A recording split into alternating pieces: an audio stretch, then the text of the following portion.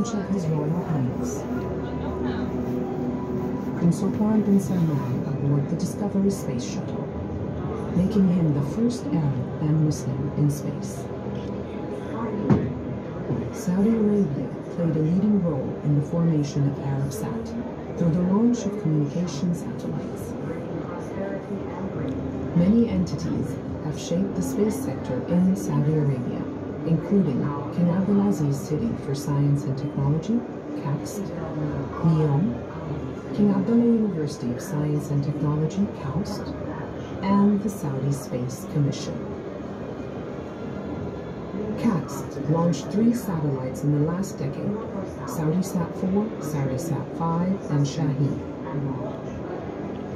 Furthermore, KACST has developed an advanced imaging payload aboard the Chinese Chang'e 4 robotic spacecraft.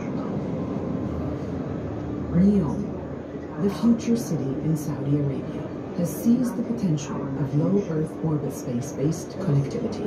An extensive network of OneWeb satellites is well underway to offer high-speed data flow to remote areas and regions underserved by existing connectivity, providing solutions for telemedicine, education, and businesses, closing the digital divide and overcoming barriers to digitization.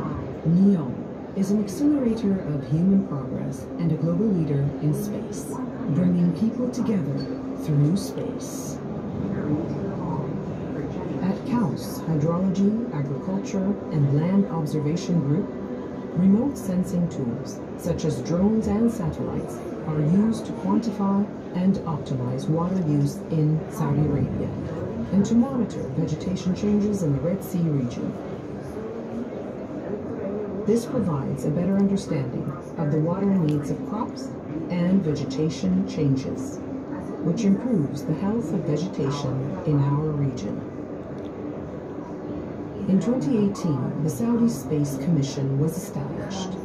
Since then, the Saudi Space Commission has been laying the foundation for the Saudi space strategy, which will be unveiled soon. With progressive steps, Saudi Arabia is striving to grow its space sector ecosystem to be a top space player. By signing the Artemis Accords in 2022, the Saudi government plans to explore the Moon and Mars, collaborating with other Artemis Accord signatories to ensure the use of space in a safe, sustainable, and responsible manner. The Saudi Space Commission is working on building a strong space sector focused on commercial aspects in space through acquisitions and partnerships. Setting the scene for our future.